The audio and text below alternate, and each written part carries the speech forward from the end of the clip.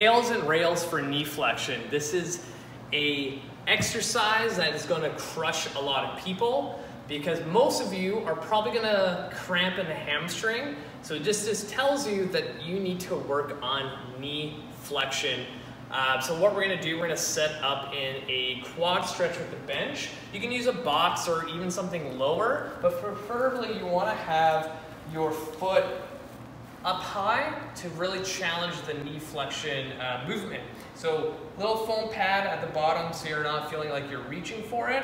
If you're a little bit shorter, you can lift that uh, pad a little bit higher. So from here, we're gonna use the dowels to add a little bit more tension and drive it down into the ground. And we're holding this stretch passively for about two minutes.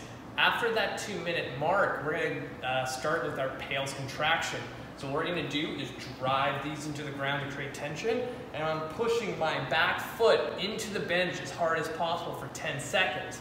After that 10 second PAILS contraction, I'm gonna try to bridge the gap from my bum to my heel to get a little bit closer. From there, I am going to go into my rails contraction where I'm gonna try to lift my heel into my bum and I'm driving, getting off the bench, getting off the bench, nice and slow. I'm gonna return, and from there, I'm done my whole pails and rails uh, movement. So you'll find a lot of times when you start this, your hamstring will cramp with the rails contraction. So you wanna go nice and slow. If you cramp, just stop, relax, reset, or possibly just start with the um, passive stretch for two minutes and build your tolerance up. So putting that all together, that is pails and rails for knee flexion.